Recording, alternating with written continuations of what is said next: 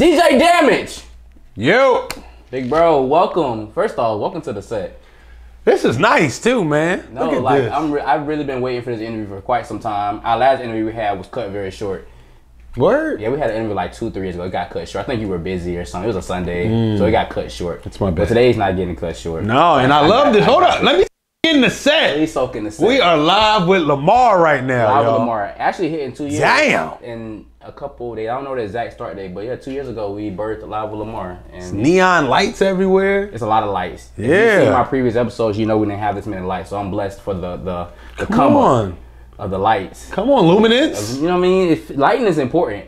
Yeah, You know that's important. You do photography and you know a mm-hmm. lot of video shit, so you know the lighting matters. But welcome to the set, my guy. yeah. I'm just I- soaking it in, man. Look, you got panels Exactly. it's velvet on the wall. That's a velvet wall. You know this is on the finest of the finest. We put, we spent a lot of money on this. Mm-hmm. A lot of money on these chairs, the green chairs, all of it. It's all a lot of money. Okay. Feel it and I don't like how we both rubbing the chair. you gotta rub it. It's right there. All this okay. We're not gonna have an interview be like this. Yo, it's so bright in here. You got the sunglasses on inside. I noticed that you wear a lot of sunglasses. Mm-hmm. I didn't know that. Is that like your thing? Like your favorite accessory is to have a nice pair of frames? well, a lot of people don't notice I have an eye sensitivity, Ah, so I have to wear something or I'm gonna be squinting the whole time. wow. The light's Mm-hmm. not bothering you, right? No, no, no. But that's why I like the. Um, I used to wear my dark circle frames, Mm-hmm. but then I can't see inside at all. So that's Ah. why I got like a clear frame, so I could still like it. Just reflects a little bit of the light, or I'll be in here kind of like. Looking. My eyes won't The whole adjust. time I thought they were just like for. fa- I mean, I guess they for both. I mean, yeah, it's definitely for fashion too, though. But you definitely have. Shout out to Marco, the curator. These some classic gazelles right here. There we go. You always have a nice pair of frames, but now we know why he wears these frames. That's all we need to know. Because if I don't, I'm gonna be in here like this. Like a blind man. You mean you are older, old, seasoned? As you older people like say seasoned. Man, you old. What you talking about? I'm. I ain't even hit thirty yet. Oh. Yeah, we ain't get there yet. That's not here nor there. Welcome to another episode of Live with Lamar. I'm your host, Lamar Robinson, and with me is the amazing, the great, the magnificent, my mentor, my big brother, DJ Damage. Yes, thank you, thank Welcome you, thank you. set. I'm excited to be here. I'm excited for this interview, man. I'm excited. We're gonna dive into a lot of things. I definitely want to start here though because the way you became my mentor was through your media course, which I mm-hmm. joined back in 2020, in the middle of the pandemic. A lot of y'all spent y'all check the wrong way. I just spent it and to be where I'm at today to curate this set. He spent it on a black-owned business. Yes, I did. In a master class, I took a chance. You remember? You remember our call we had on the phone? Mm-hmm. And I was like, I was like, yeah, I'm just a little nervous. Like, I don't know. I spent so much money on this program, and like, I don't need you trying to scam me. Mm-hmm. That was my thought. But it ended up being like magnificent. What made you start the Legendary Media Group? I feel like throughout my uh my journey, I've always been helping people, whether it's an intern or somebody just work, maybe where I work at, and they wanted some advice. So kind of like um, it was a guy that came on Hollywood Unlocked. He was like teaching and you know selling courses or whatever. And I was like, that's dope for you. He was like, no, you should actually do it. And I'm just like, nah, I don't see why it makes sense. And he convinced me why it makes even more sense for me to do it than him to do it. Absolutely. And he was very successful.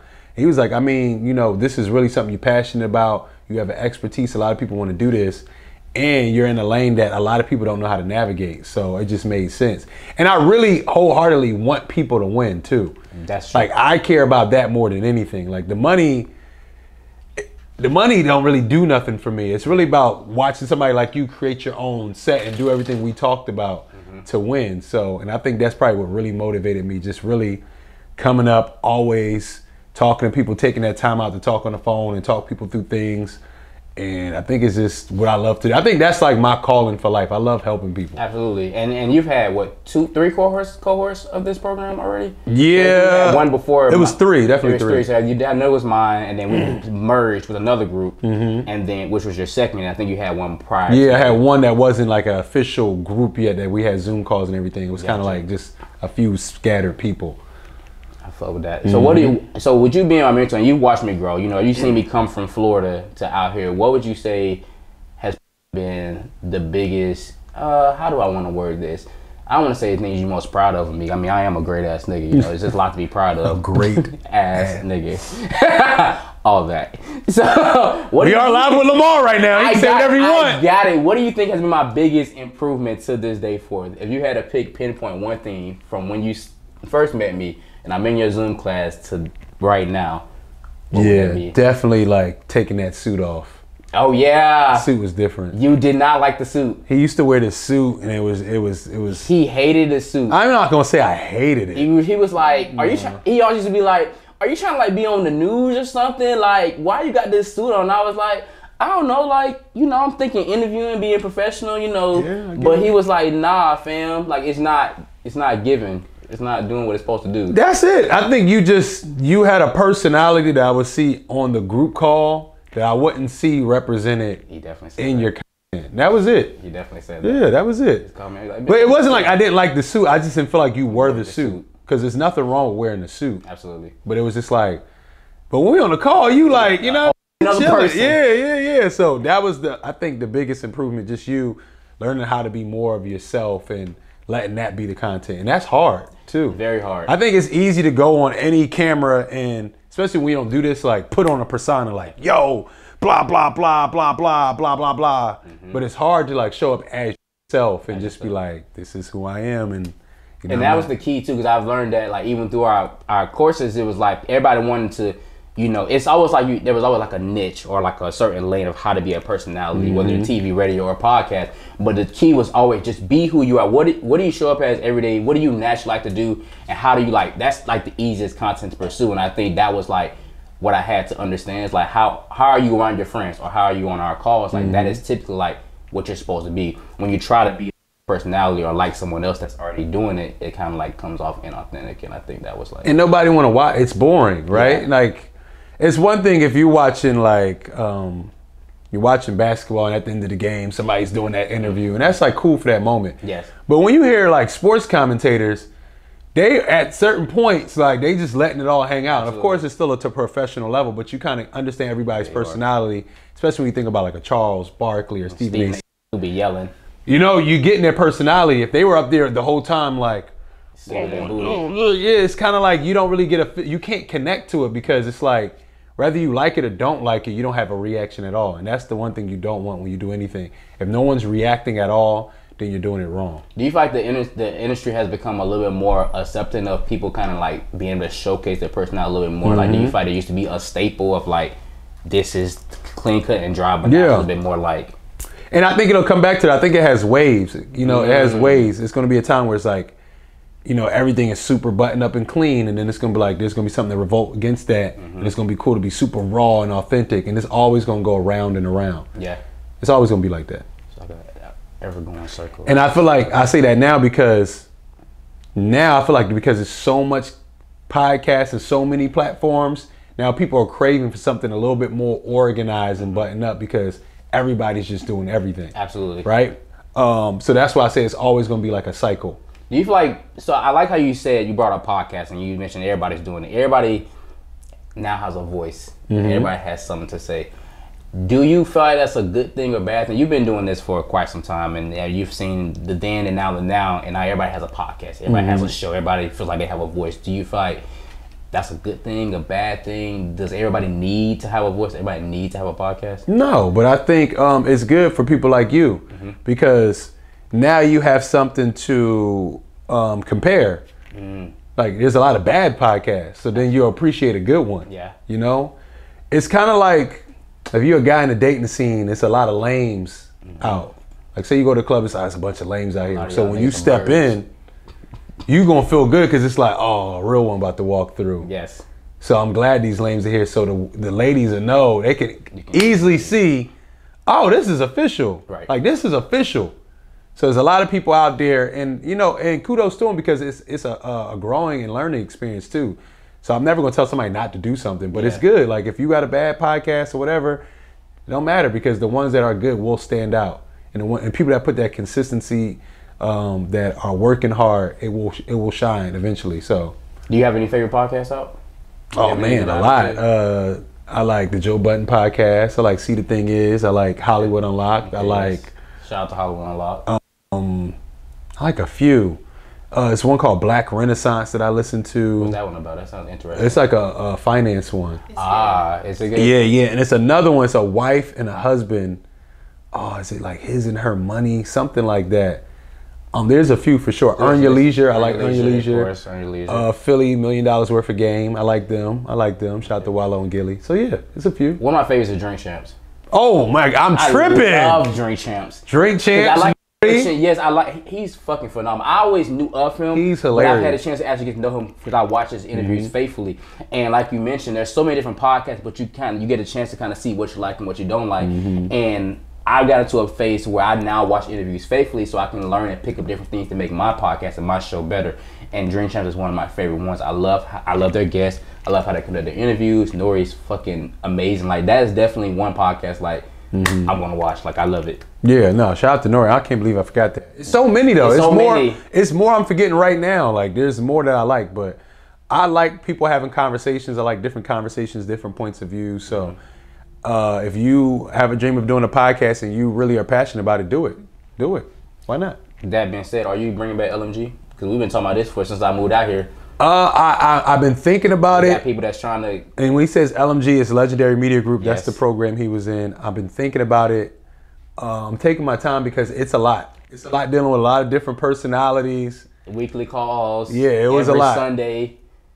But I, I do want to do it, so I'm thinking about it. And then also, I have to change the program a little bit because as the time has changed, Mm-hmm. right? So I think it needs to be more lean into how to create your own platform. So yeah, so I definitely want to do it. can be multiple things besides just you know on this side and one lane. So I think that is a, a good way to spend it because yeah, you may want to do a online magazine type shit. So it, yeah, so I definitely do want to do it, but then it's going to take some back end, like a few months to kind of create the back end. Mm-hmm. To then have the Zoom calls and blah blah blah blah blah. Y'all don't care about this stuff. When it launches again, we'll tell you about it. we do care. And if you want to be on it, you want to definitely follow and definitely keep up with DJ Damage because the course was phenomenal. I'm not just saying it because he's here. I definitely learned a lot. I mean, it drove me out out of Florida and brought me to LA, so it did something right. It definitely gave me the push I needed, and I feel like I've had a chance to to thrive. But I know a lot about you, and I've had a chance to get to know you a little bit more. But for those who don't know who DJ Damage is, please let them know who you are. That's that was very that's a lot. Yeah, who you are. You do a lot of things, a lot of hats. I'm DJ Damage. I am um, I'm a Libra. A Libra. Shout out to Libras. Hey, Shout out to Libras. You're very balanced. Even though we looking crazy right now, we are taking some L's L's. in public. Scorpio game. No, um, how would I how would I um explain this? I guess um, I'm a DJ. Yes, you I'm are. a personality. I'm a father first. You are a father. I am a free spirit Would you describe yourself as a free spirit? for sure. Really? For sure. And I need to work on that. Own into a I little bit need- more. Yeah, I need to. I Okay, need that's to be more intentional. Okay, there we go. Cause I might say, would you? Everybody can't live like this, y'all. But I lived a very unintentional life and still have so succeeded at things. But you need everybody should be intentional. Do not do what I do. Do what I say. That's my 2022 word. what? Intention. It's important. It's very important. But I, I had to realize through the time how unintentional I was. Like I have intentions, like I manifest things, but mm-hmm. I, uh, my only intention was to be a DJ on the radio. Everything else after that has been extra credit. that just came along. That the was the only intention I had. But You never know how your road's gonna pave out. Your role, I feel like it's took all these different. because I'm here. Because I have no intention. It's like I'll just go with the wind. Oh, what's going on over here? And then I'll just mold into it, which is good and bad, maybe in a way. Mm-hmm. But um, I'm I'm flexible. yeah. So there's that. So do you feel like from because you started in radio and then you went to Revo was after that? Did it Mm-hmm. Yep. follow immediately after that? What do you think that was that biggest transition coming from like with you not knowing? Did you know that Revo was gonna come or was Revo one of those things to where it just kind of like No, I mean it's a really it's a very long story too. It's an interesting story because um, when I was doing radio, for lack of better words, my rival DJ's manager, that so the DJ was on the other station's manager, was the one that connected me with the people to do um, 106 in Park. say you were on one assistant park? Yeah. So what happened was I was doing 106 in Park. That was dope. I was there. Um, I did a few. 106. Shout out to 106. Yeah, I did do a few guest hostings or whatever, but mostly like DJing. Yeah. And it was at a point where they were like, oh, you know, they randomly called me just to do some guest DJing again and hosting with Paigion. They were like, yo, you about to meet the these are the new hosts of 106 and Park. Y'all gonna see them next year. And I was just like, word. and then what happened was they never called me back. I never been to 106 and Park after they said that. Damn. And then eventually they did like that big global casting where they were looking for. But what happened was when they started Revolt TV, a lot of people from 106 and Park went to Revolt. Mm. And Oh, my name was brought up there. And they were like, yo, it was a guy that we were supposed to have at 106 and Park. And that's kind of like how that happened.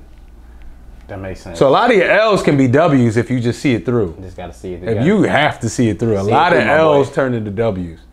I don't know what it looked like visually, but yeah, two two L's can make a W. see like that. Bye, y'all. But you got to see it through. I remember when I first came across with Damage. I was at Revo Music Conference. Mm-hmm. I was at Revo Music Conference. I seen you and um, I can't remember her name at the top of my head. White Sibley? girl, white girl Oh, Hannah. with the cool hair. She had the dopest haircut. I seen him. I went out Revolt. I remember going down there in Miami and I seen. I was like, wow, this is really cool. Like really cool. Like they're doing cuts and doing stuff on TV. And you know, it's actual live. And I seen Damage. So I'm like trying to network, right? I'm really trying to network, but I'm nervous as hell. I don't know who to talk to people. I'm like, I don't know what to do. So Damage is like this. He's like sitting behind um uh, the set or behind the stage, and I'm like on the side.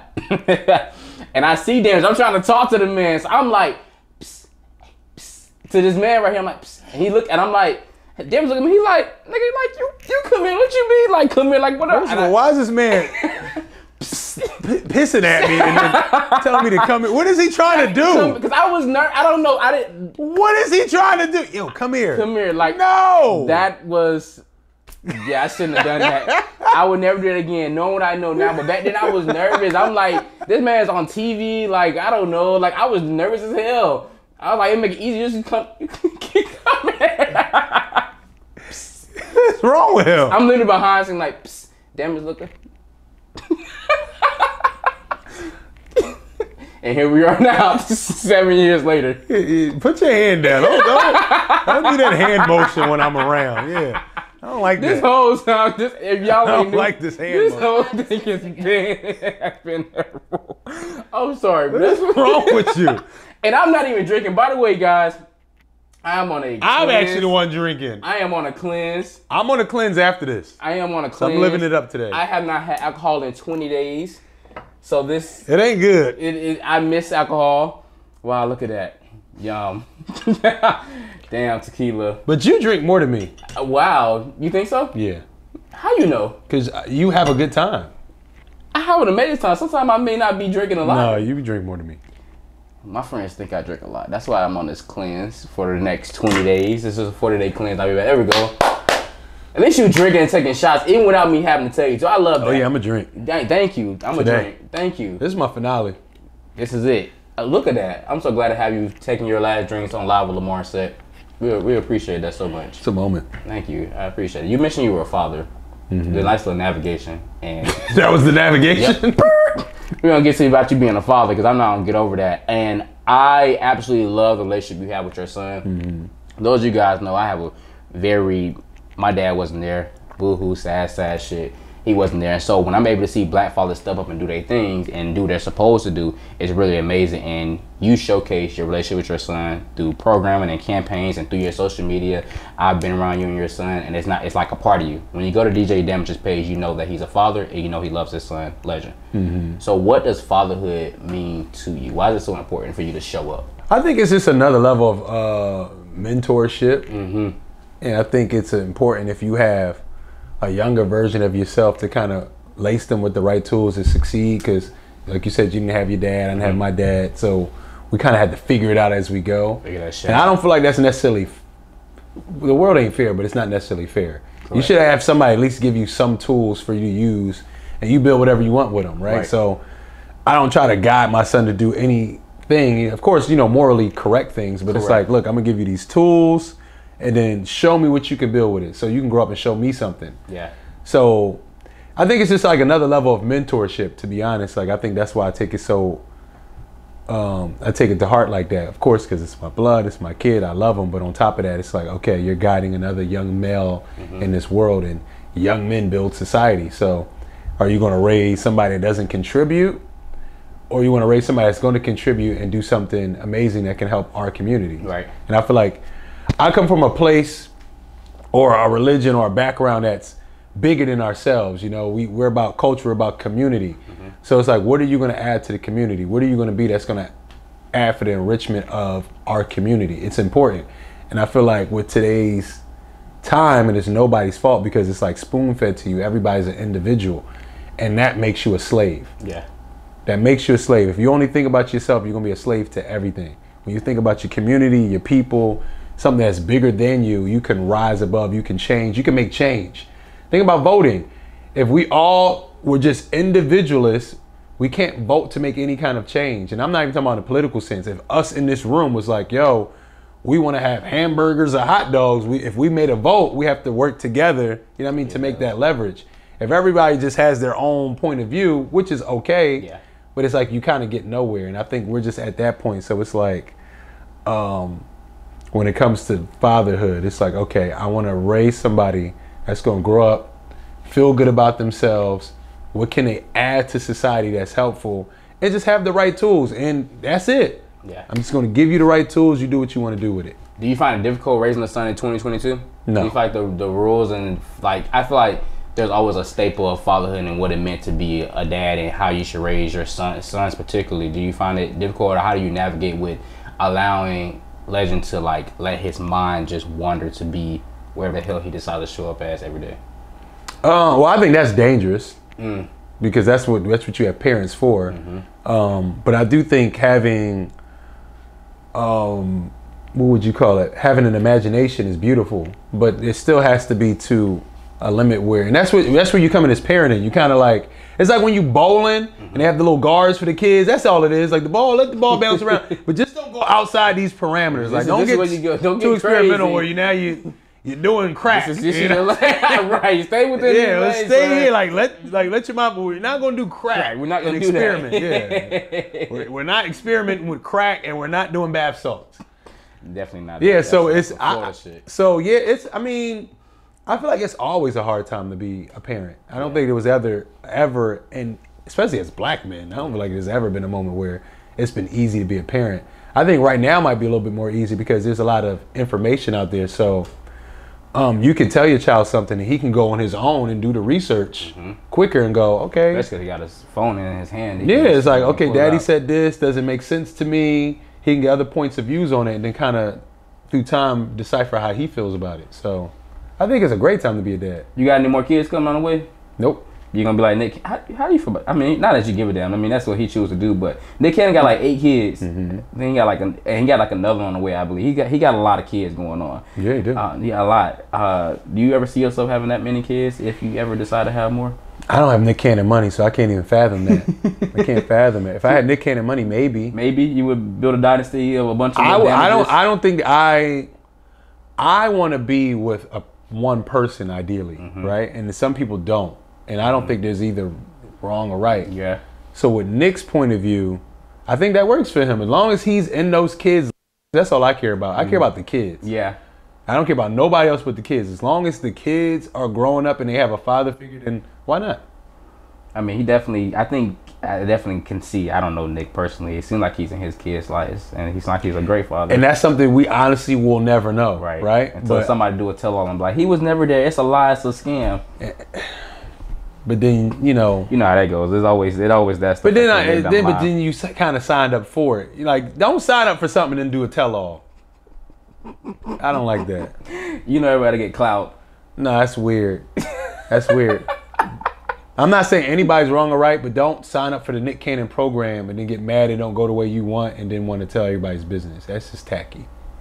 Oh, I personally don't like that. That's fair. That's fair enough. But y'all, um, you were formerly on Hollywood Unlocked. Mm-hmm. Um, Hollywood Unlocked has done this very well, and Mm-hmm. Jason's out there doing big things, and you know, interviewing people. Now we have the Hollywood Unlocked Studios, and I, I pivot to this because we mentioned, you know, your transition and kind of how you kind of just landed in different spots and different joints, and I feel like Hollywood Unlocked was another one of those. I'm like, boom, Mm-hmm. Sure was. I'm on TV. I'm on, what was that journey for you overall with being a part of the Hollywood Unlocked? I think it was amazing. I think it was much needed, and that's why sometimes you gotta sometimes you got to play the back seat to your life. You know, like mm. sometimes you got to just let life take you somewhere because you don't know what you can learn. So from the kind of, I would say, hosting and media that I was into, it was kind of like how it used to be with Live Lamar. It was kind of like, even though I wasn't wearing a suit, it was still very curated and whatever. I wasn't used to telling my personal opinion on things mm-hmm. ever. I never had to. I could hide behind so many things. I'm just doing an interview and it's like, oh, blah, blah, blah. Okay, we're done. So that was the first instance of me having to speak on things as me, you know? Yeah. And that was a very huge learn, and it took a long time, right? Because I could ad lib you talking about some shit, but then it's like, well, what are you thinking? I'm just like, shit. Now I got to talk about how I feel, feel. and, it might, and people might not like it, and then you have to get through that level of people not liking what you say, and that's hard yeah. Especially with social media and so many people could just bash you. Man, we've been attacked by Ariana Grande fans, the Nate, all types of fan base. I've been, my son been called all different types of things. Still to this day, I could read something weird about somebody saying something about me and my son, and I'm just like, what? I didn't even do anything. I didn't even do anything. I just was there. I haven't It been on no podcast lately. What are you talking about? Um, but it was a learning experience to learn like how to just be unapologetically you. And Jason is, Mm-hmm. Don't and that's no the thing. filter. And and it's weird balances because, because from the outside looking in, if you know my background, you would never think I would be paired with somebody like Jason. Absolutely. And people probably look at Jason like, how did you pair with Damage? Correct. But it made sense. It made sense. we balanced each other out. So it was a really great, really great learning. I'm very thankful for that. And then also, um, a lot of people just want to be the man. And I think May said this recently. Like, you can't be the man if you don't come up under people that are the man, right? Correct. So I was able to be to ride shotgun for a lot of successful people from QDZ when I was in Philly. Mm-hmm. Um, when I was in radio, QDZ worked at Big Boy's Morning Show and Okay. came back to Philly and had his own show, and he made me his DJ. But the wealth of information from coming from LA to Philly, mind you, I never been to LA yet. Mm-hmm. The things he was telling me, I was just like, oh, okay, okay. He was giving me the game. To then go on working with Puff and working with people at Revolt and working with people like Tuma, who runs YouTube now, Oh, wow. but created Rap Caviar. Uh, I got to work with so many important people at Revolt that blossomed to do amazing things. Sometimes you got to really just take the back seat and kind of enjoy the ride and learn from the experience. And it's really something to say to not rush your moment because you miss it. A lot of people that want things to happen right now, when you have something that you want happen right now, you become I'm trying to find the right word. A lot of times when you get success too quick, you just get used, right? Mm-hmm. Because you have no relationships. So people don't really like you for you. They like you for what you can do for them.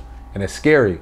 But when you take that slow grind, along the way you're meeting people that's also in their grind and you're building legit relationships for if you fall, if you tilt over, whatever happens, you're around a community of people that know who you are. So it's really important to take your time in that journey. And I think you are a testament to that, right? Yeah, absolutely. Think about it. You you're you're taking your time and look at all the connections you've built since then. Me, Mal, even working with what you're doing with like uh, with B Hens thing. Mm-hmm. All those people you're meeting. It's a long term grind. All those individuals were like, oh. Lamar, I remember you. I met you in DC when you were doing this. Mm-hmm. Now you're doing this, and then I've seen you doing that. They're watching you grow, and then that's what's going to help you.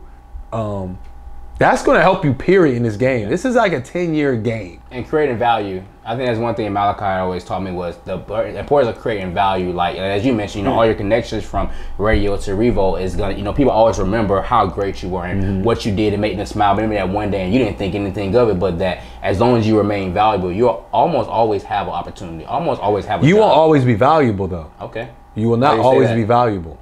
Why You won't be, and that's why you need community. You won't be. Mm. You won't like. There's always going to be. Think about some of your favorite artists, right? Mm-hmm. There's a point where they start to decline. They're not valuable, but guess what? They have an impact where they can grab onto somebody that's hot, or somebody you know that they might have influence that might be doing the thing right now, and they can help bring them back up. You're not always going to be valuable, that's and that's just how this game goes. Entertainment is a roller coaster. Roller coaster. And if you're banking on always being the man, then you're you're betting to lose. I can believe that because every, there's everybody's been a man at one point in time, and then like they're no longer the man. You know, they had to pivot or they had to figure out something else because it's like you can't bank on it. Entertainment industry, you really can't. Literally tomorrow can be like, But what they say, the same people you say on the, the way up, you see on the way down. Yes. But it's how you treat those people. So if you on your way down, but you treat everybody great, or one or two people that really respect you and that have influence, they can help keep you afloat until you figure your thing out. And I always said this to y'all when we did uh, the legendary media course. I said, yo, one day I'm gonna need y'all help. Didn't I always say that? I said, y'all gonna have a platform that's booming. I'm gonna need you to help. I'm gonna need to come on your thing. yes, And it's no ego about that. I'm going to need that. And vice versa. One day you're going to get to a certain level. I mean, hopefully we always, always ex- ascend, but it's not realistic. yeah. So you're going to need somebody to kind of lean on, and that's natural. That's just life. So I know you do hosting, but you're also a DJ. Yeah, so you DJ a, a phenomenal event every Wednesday here in Los Angeles. Brown Sugar. Yeah. Brown Sugar at the Continental Club every Wednesday. I I've heard this a lot because I'm new to LA. I want to be here for a year and a half, and everybody says that LA different. Outside is different. You know, I guess since the pandemic. You've been here for how many years? 10 years. Ten years. Then you old. So like, um, how do you do? You feel like outside has changed since the ten years you've been here? Yeah, it's gotten better. It gotten better. You okay? That's the first I've heard that. Most people say something negative, like, "Oh, it ain't the same." I mean, they still be outside in the club right next to me, but they say it's different. I think it's better. I think it's more cultural. I think there's more genres of music being played. Mm. I think there's definitely more vibes for different styles of people because before, like you know how far you had to go to maybe find a reggae party or Afrobeat party. You had to travel to some weird. I can go up the street to go to a nice little. Yeah, like you had to go some weird area of LA, uh, and I ain't gonna say it's weird. It's just an area that if you're not from here, you're not used to going to. Mm. Um, I feel like it's definitely more has more of that East Coast balance when it comes to music genres. So I think, I personally, I think it's better. The East Coast seems to very like take over the West Coast. Like y'all out here, Where are you from? Come on, y'all. South. Well, yeah. It's a difference. I don't. I don't. I. kn- It's a difference. Yeah, he's from Tallahassee. So Pensacola. Same difference. what is that? It's That like sound like something like you remember y'all remember the Mighty Ducks? They was from all them weird places. I'm from Pensacola, Pensacola. Minneapolis. Like, Pensacola. yeah. You know, it's the South, but the East Coast seem to be very prominent over here. You know, you got Philly and DC, DMV, Maryland. I think more so the DMV It's very heavy out very here. prominent. I think the East here, but the East Coast isn't together, right? Mm. But the DMV, all the DMV people rock together. I love that. Do you feel like any what that. music? Well, what coast of music or area of music do you think thrives the most out here in LA? That you feel like you hear the most of? I think the South is still taking over like the music scene. But I feel like in LA, if you go to like um, the club clubs, it's a lot of West Coast young artists really getting they they they thing going.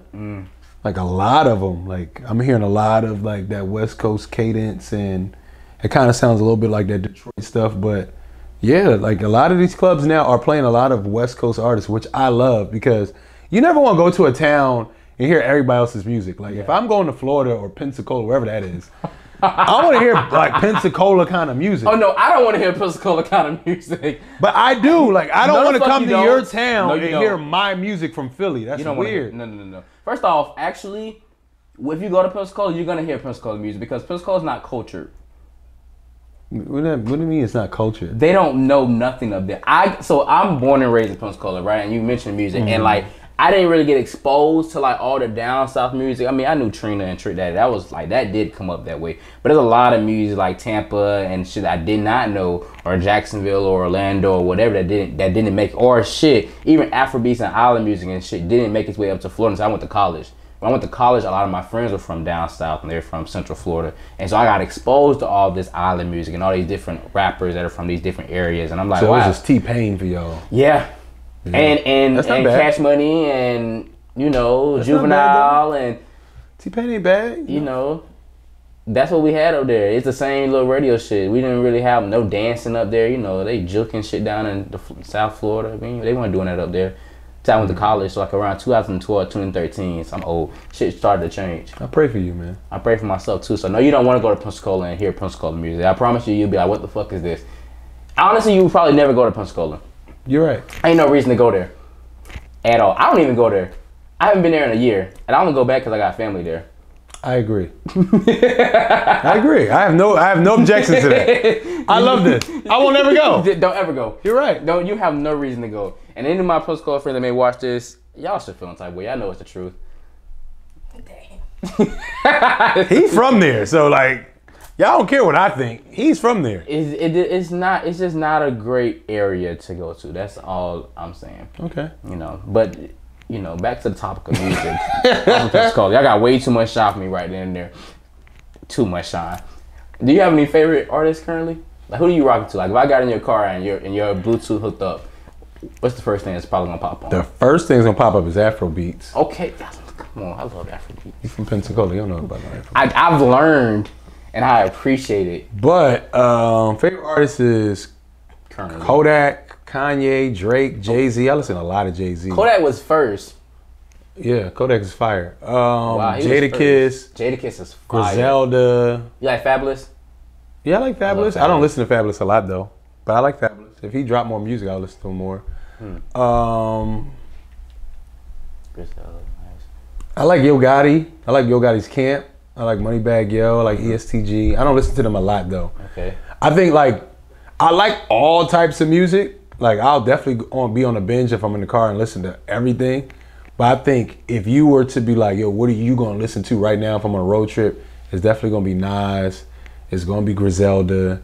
It's gonna be Jay Z. It's like that kind of rap. Sounds it's gonna like be Pusha. T. Sound like your pocket. When you Yeah. said Kodak, it just kind of like threw me off. No, I like Kodak a lot though. Like, be better?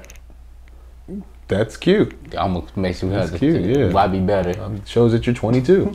It'd be like this. Listen, I come from a background of working with a certain population, so they kind of just like, I just can't. yeah, Young boy, young boy. Live with young boy. Live with young boy. Listen, I'm gonna get young boy on the set one day. Young Men TV. I'm gonna get, yeah. I'm gonna get young boy on the set one day. I should reach out to us. Yeah, really? Yeah. Please. I hope you get to interview him. I really want to. Like nobody, I feel like nobody will give him a chance. I would love to have YB here, since y'all can actually learn about my guy. That's my cousin. That's my little cousin. That's what's up. Yeah, you know. I'm proud of you. Thank you, bro.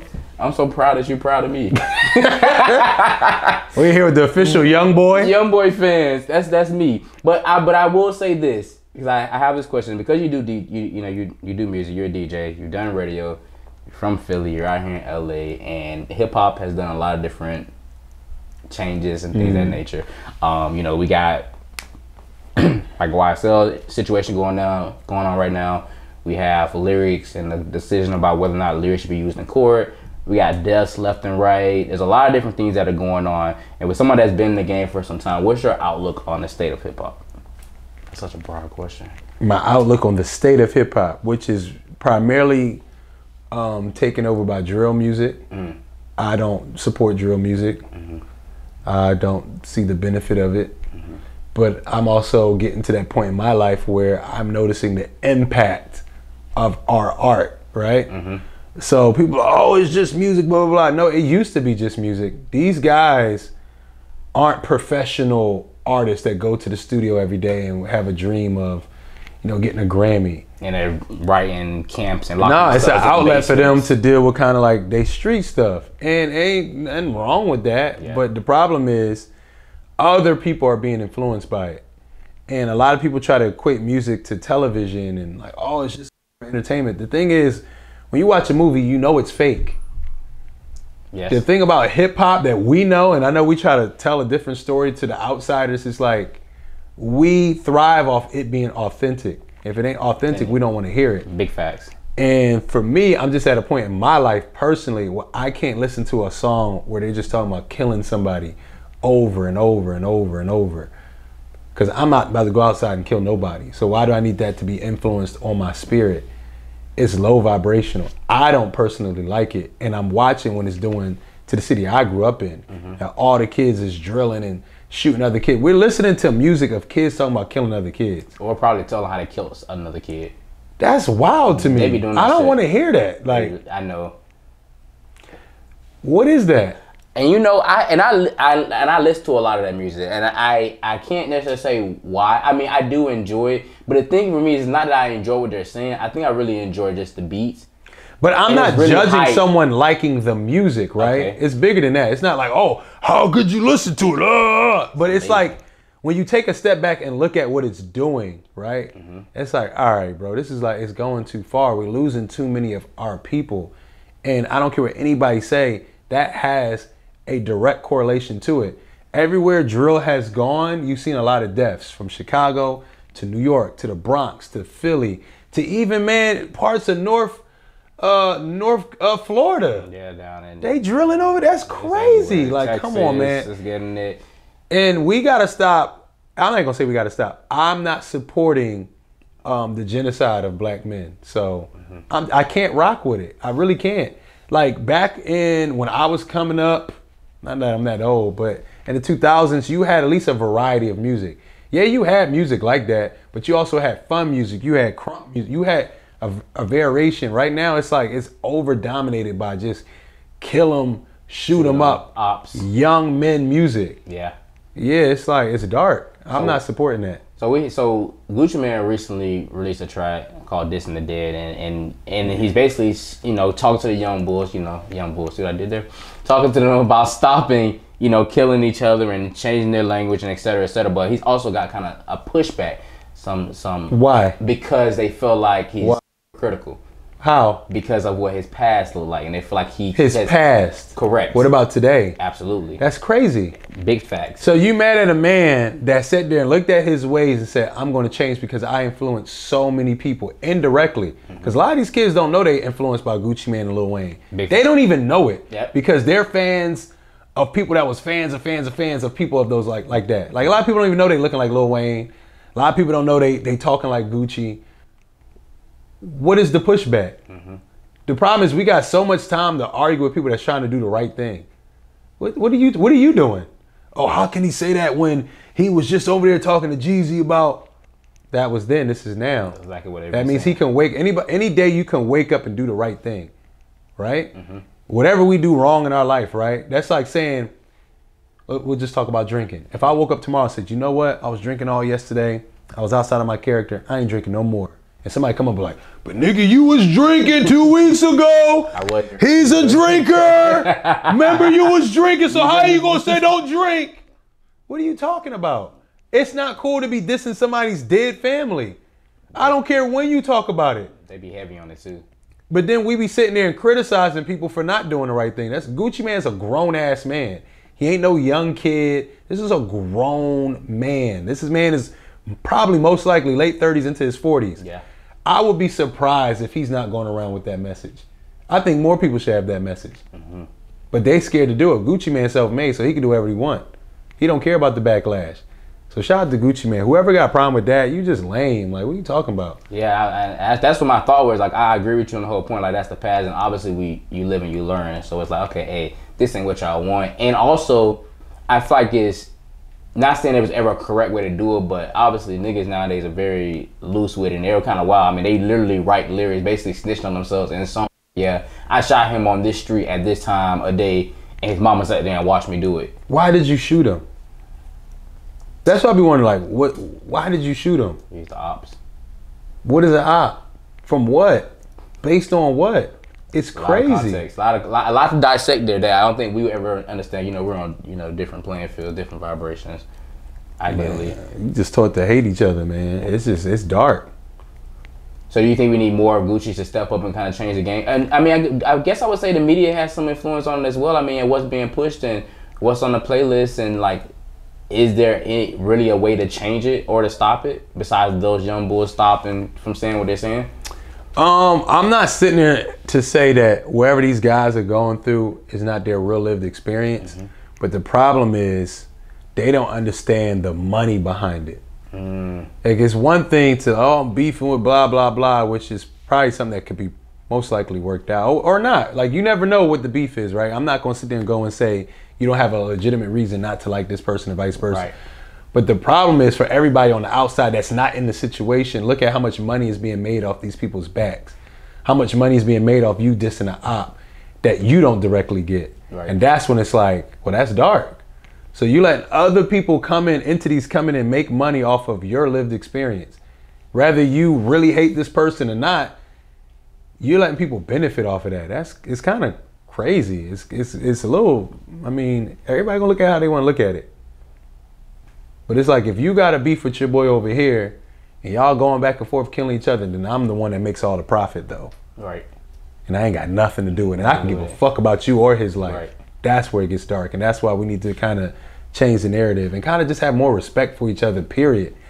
Like we got to get back to having disagreements and you fight and it's over. It can't go to a switch or a ghost gun. Like it's getting too far. We going too far with the with the animosity. I used to have beefs in my hood when I was growing up. We didn't like this street, whatever. We'd get up at the park and fight. And guess what? Some of them people you grow up with, and they tend to be your friends. Oh, you can't even live it all the way out where it's like, damn, we used to go back and forth when we was a kid. I used to like you, I used to like you, but you turn out to be all right. You can't even have that experience because now we got ammunition and things in the hood that can just take you out like that. You can't even you can't even see it all the way out. Yeah, nobody's not. They're not like Jaydayoungan and him and his father got well, they got shot. Jaydayoungan ended up passing away in New Orleans, I believe it was, and like literally shot him and his father. That's five crazy. gunmen, and his father ended up making it out, ended up making it to the hospital. Um, but Jaydayoungan unfortunately did not make it. And it was Mm-hmm. kind of like what you said. It's just kind of like damn, like you just It's dark, man, and it's a lot of deaths. It's a lot. It's a lot. And I, I just can't sit there and act like I'm cool with black men dying on my social media page all the time. We outraged when we see police kill us. I'm even outraged when I see us kill us. I'm outraged to see black people dying in general. It don't Yeah. make it even better where it's like, oh no, because he's from the street. And th- what, what, what do we, when you really think about it, because I'm from the street too, what are we beefing about?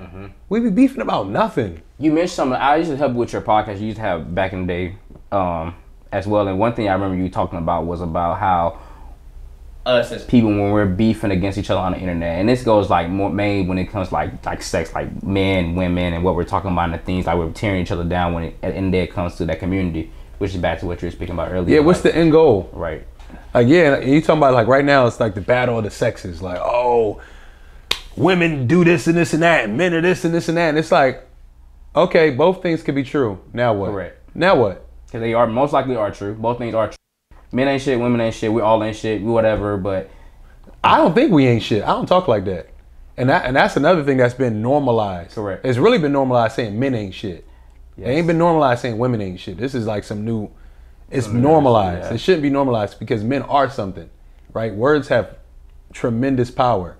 Men are something, Mm-hmm. right? If you don't like the outcomes in your life, let's figure out if we're gonna have a dialogue. Let's have a dialogue to figure like how we can come together, not to justify being apart. And I feel like that's the problem when it comes to those type of things. Why are we finding more reasons to justify to not be together when we all know it's a better outcome when we're together? We're together. That don't mean it's gonna be perfect, but it's a better outcome when we work together. clickbait. It's easy for people. You know, those are those topics. I mean, but it feeds off people trauma. Like I can easily find, we all can find something that speaks to our trauma. Yeah. But then it's like, okay, at what point do we want to get over our trauma? Because you know when things speak to your trauma, you know what people do? They make money off of you. We live in a capitalistic society. So when you keep finding things that speak to your trauma, just know something behind it is making money. yeah, and you gotta look past that. One thing about me is I hate being told what to do. So if I see something, I see a trend of things, it's like, oh, they're trying to tell me to do this so I can buy this. I'm not doing doing that. They want us apart, so now I want to be together. That's just the thing. Like, and it's not to knock anybody's points of view. I think everybody's podcast and things they're talking about in a healthy way could be good. But at some point, I'm tired of women talking about how shitty men are. I'm tired of men talking about how women need to do this, this, and that. None of it makes sense. right. Do you want to be with somebody? Yes or no? Yes exactly. or no. If you don't, then you ain't got nothing to talk about. What's the point of going on a platform and talk about how much you don't want to be with somebody? Just don't be with them. People love doing that. I mean, I never understood that. And like when people, especially some celebrities, they literally go on there, and I'm like, damn, bro, that's literally like nobody's business. And now you wonder why everybody's in your business. What do they want? attention, fame, and Attention. attention, clout, all those things. They It's want like- attention. then you mad because why y'all always saying because you let people inside your business. you you let us know. Now we have something to talk about. Now we, we're able to bring it up again. When you do DJ and you do music, you also did a part uh, program uh, with Remy Martin with finding artists and artists getting their music out there. And a lot of artists, especially with media is changing, social media is changing. It's not where you get somebody a CD anymore on a flash drive. And maybe it is, but a lot of artists are trying to make it. You know, I think that I would, it would be wrong, would be not to be able to ask you your opinion for all my friends who are artists. Um, what is your advice for them that are trying to get their music out? Like, what do you think is like the biggest way for them to really like? I know that's a loaded question, for them to get some get on. I guess is the right thing. Um, Somebody want to see you out, which probably not the way to do it. But they would say, "Hey, DJ Dan was like, I got this song. I want you to check out." People still do that. No, Okay. thank God. Oh, it's terrible. It's a terrible one. I think one one thing you have to do is build. It's, it's always gonna come back to the same thing. You have to build a community of fans, right? So rather that's your neighborhood, rather that's uh, you have a fan base online. People want to see a fan base, right? People want to see because you, yours music might not be my cup of tea, right? But if I see a collection of people rock with it, it can sway me to go, oh, but wait, this might be a new thing that I might be missing out on, right? So, uh, really spend time to create and try to curate a fan base. And you got to start from the bottom. You got to start doing, whether that's showcases, whether that's making TikToks or collabing with other artists. You have to put that work in to do that. And on top of that, relationships are important. Relationships are build relationships with producers, build relationships with other artists, do shows for free, do features for free, um, do whatever you can do to get in kind of like a, a circle of winning. Because there are artists that, and they might not be the biggest artists, but they have something that you could kind of benefit from. Where it's like, oh, they got a fan base. I'm trying to build mines Let me try to collab more with them. Oh, this producer's doing his thing right now. Let me see how I can work with him. And use your resources. You gotta really. The thing is about being an artist, you gotta throw your emotions out the window because you need everybody on the way up. Absolutely. You're in a need, need, need situation. Every So when people tell you no and all that, you gotta have that that thick skin to go at it again. Like, I know you said no the first time, but Right. what if I could do this? Like, you need a lot of people, so you can't really take everything so personal. Really take your music persona and just put it to the side and look at it like, I'm just growing this project, and whatever happens doesn't personally mean people don't like who I am. Right. Like I'm growing this thing here. It's not personally against me. So if somebody don't like your music, doesn't mean I don't like. Say if I make music, I don't like DJ Damage personally. Mm-hmm. It's just like, yo, your music need a little bit of work. Okay, what can I do? I don't know, man. Uh, you you try to get some suggestions. Try to work around people. Listen to people that that things work. You just got to be a sponge. Honestly, it's really hard being an artist. And people think it's an easy thing, and it's one of the hardest things you can do. So just have some patience, have some thick skin, and just stay diligent, man. It's very, very hard. Yeah, and and, because everybody's doing music, it's another one of those things. Everybody's Very going hard. to do music, and everybody, you know, it's different genres and it's different types of music, and certain, you know, it's the mumble rapping and it's this type and what's the wave and TikTok. Yeah, TikTok is huge right now. You got to be you know on what I mean? TikTok. Got to be on TikTok. Like you have to be. Like it's literally one of the biggest ways to push the reels and all that. I fucking hate reels and TikToks, but that's that's It's tough. It's fucking tough, but that's how you have to do it. What's next for you? I know we mentioned you got some some some things you got in the works, and I know Hollywood Unlocked has wrapped, and I, Mm-hmm. I know you know you're probably still going with the win, but I know we're trying to be more intentional. I'm on with the women, but now I'm starting my own show. It's gonna be called. I'm not gonna put the title out yet. Okay. I'm starting my own show, kind of like live with Lamar, like Okay, one-on-one best. interviews. Yes. Um, so I'm really been working on that heavy, and I think that's the most overt thing that I feel like talking about. I have other things like behind the scenes, but like Correct. I'm working on my own show, and it's coming soon, and I can't wait to So show I'll that to pull the world. I'm pulling up. Yeah, please pull up. I'm gonna pull up, even if I'm BTS. I'm gonna be. yeah, up. please pull up. Yeah, I can't wait to really make that happen. So I'm working on my own show. This would this be your first show that's on your own? Yeah, Like you always had a yeah. I always had a co-host. Yep. But this is gonna be This is my This first is gonna one. be your baby. Yeah, just gonna birth something new. Yes, yes, I'm working on that. I'm really proud about that. So look out for that. It's coming soon. I didn't announce it yet. I'm still putting the final touches on it, but have my own show coming soon. I love that. We love a little tidbit of an exclusive. Mm-hmm. I decided that with with Lamar, I want to close out my episode and close out my show. Each of my guests with like a very dope ass question, right? It's Okay. a very off the wall question that they're not expecting. He didn't expect anything we talk about today, but I'm gonna ask him this question. It's very thought provoking. I think you're a very humble individual, and so that's why my final question for you for this interview is: What moment in your life do you feel like humbled you the most? Humbled me the most. And what moment in your life really was like, you know what, I can't do that again, or like, damn, like that that really stung. Like, I gotta I gotta tighten up. What do you like was probably one of your most humblest moments within your career, your life, fatherhood, growing up, Philly, LA? Shit, I've been humbled a lot. Oh, I would love that. When I didn't need to be humble too. I was like, God, I know, I ain't know, God. I know. like, wait, wait, why, why are we doing this? Why is my car breaking down again? What, right?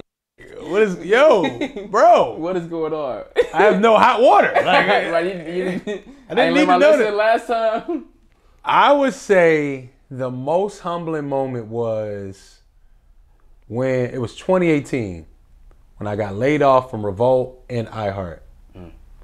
And it wasn't at that time of being laid off, it was the journey of trying to find work after that. It was a humbling experience because since I could remember, I've been working nonstop.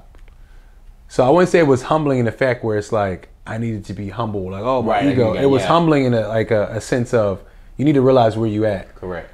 So with that being said, I finally had time to reflect on my life. I never had the time. I was always working, working, going to school and working. Then after I went to school, I had a kid. So it's always been like this. So I finally had free time, and I never knew what to do with free time. So I had an overwhelming, like an overwhelmingly amount of like stress put on my chest because I didn't went through so much through this time, but I would just work and kind of like push it to the side. So I think that was humbling to go like, you have to do the do the work and go through a lot of you have to go through things that don't go away. I guess that's what I'm trying to say. Like you can go through a lot of things in life and think you're pushing it to the side and there's going to be a moment where it's going to come back and you have to deal with it. So I think it was humbling in that sense where it was like a lot of things that I pushed away and it was easy to push away because I was so busy. Mm-hmm. Not seeing family, dealing with certain types of breakups, not having parental figures, you know what I'm saying? Not having, you know, like certain things you can keep pushing away until you get to a point where it's like, I'm a grown ass man, and I have all this free time. I'm sitting home like this, and I'm feeling everything. Yeah. And I call that humbling because it was like, man, I thought I could, I really, I think the arrogance in me of thinking I could just push this stuff away and never having to deal with it. And now I have to deal with all of it at one time. And how am I going to do it? So that probably was the most humbling moment where it's like, you can't be arrogant enough to think you could just push away your problems for forever. You have to deal with them Yeah. at one point in time. Yeah, and it kind of goes to your point earlier. You mentioned about like being the guy. Sometimes you you gonna have that moment where you're not. So you're on TV and you're hosting, and then it's like boom, now I'm laid off, and it's like fuck. And, you know, a lot of times, you know, people like me that are up and coming that are trying to do these things. It's, it's always great when we hear people we've seen in these certain lives. Like, damn, you got laid off before too? Goddamn, shit. Guess it can happen to any of us. No, yeah, and I think uh, because I come from radio, like everybody know radio, you're gonna be fired, right? So like, Yeah, radio's that. so the laying off thing wasn't such a big surprise, okay. but that will but might be for somebody. Some people don't know that. Like in radio, we know coming up, it's like you're gonna be fired, you're gonna be hired, you're gonna be fired. That's just the entertainment game. So I was a little bit better equipped for that. Yeah. I wasn't equipped for the emotions of my own personal life outside of that shit that I would have to deal with. Right. That's what I wasn't used to. I was used to always working and having something to do and being busy. Oh, I don't got time to, you know, oh, I can't see you right now. I was used to the running gun. And once the running gun was done, oh boy. Woo! Depression. Depression, motherfucker. We deal with it. Appreciate that. Yeah, so that was definitely a time. 2018 for sure. 2018. That's when I moved to Tampa. That's when my life changed. Mm-hmm. A little better. Good, because Pensacola Pensacola. terrible. Back to Pensacola again. Big brother, I appreciate you for coming on the show. Thank you, man. Thank you so much. It's been a pleasure. I finally got a full interview out of you. I hope you enjoyed your time. Hope I you did. hope you're a little lit. You gotta go find your little day party to slide into. Yeah, man. This Sunday you can get you lit. Probably We live with Lamar. Look at this Lamar. on set. on set live with Lamar. It's been great. My name is Lamar Robinson. This is my guest. Let people know how they can follow you. At the real DJ Damage on everything and follow. Oh, actually, check out the website Legendary Media Group because it might come back. LegendaryMediaGroup.com. Boom. And again, I'm Lamar Robinson. Make sure you guys subscribe, tune in every other week. We have a new episode, another amazing guest like I had today. And we're back with another episode of Live with Lamar soon. Y'all peace out. I